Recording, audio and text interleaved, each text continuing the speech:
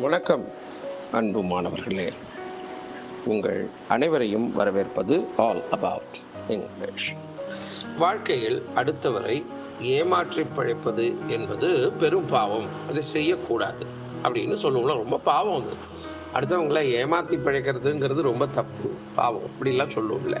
இதை ஆங்கிலத்தில் அப்படியே எவ்ரிடே கான்வர்சேஷனில் இதை நாம் பயன்படுத்துவோம். அதை ஆங்கிலத்திலும் வெளிப்படுத்த முடியுமா? என்றால் வெளிப்படுத்த முடியும்.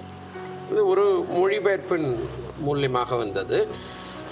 இது முழுவதும் ஆங்கிலத்தில் இப்படி இருக்கிறதா என்பது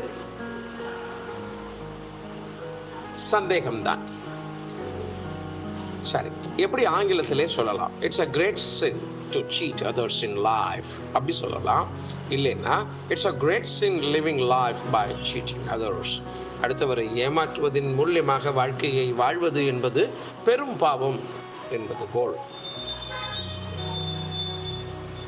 So it's a great sin to cheat others in life வாழ்க்கையில் அடுத்தவரை ஏமாற்றுவது என்பது பெரும் பாவம். இது முதல் வாக்கியம். என்று தமிழிலே அர்த்தம் சொல்ல வேண்டுமானால். இரண்டாவது வாக்கியம். It's a great sin living life by cheating others வாழ்க்கையை அடுத்தவரை ஏமாற்றி வாழ்வது என்பது பெரும் பாவம். இது இரண்டாவது வாசகத்தினுடைய பொருள். அப்போ இந்த வாழ்க்கையில் அடுத்தவரை ஏமாற்றி பிழைப்பது என்பது பெரும் பாவம் என்பதற்கு ரொம்ப கிட்டத்தட்ட பக்கத்தில் வருவது இந்த இரண்டாவது வாக்கியம்தான்.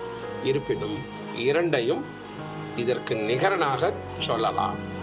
அதாவது இந்த தமிழில் உள்ள வாசகத்திற்கு நிகரனாக சொல்லலாம். மீண்டும் நாளை வேறு ஒரு பதிவில் சந்திப்போம். நன்றி.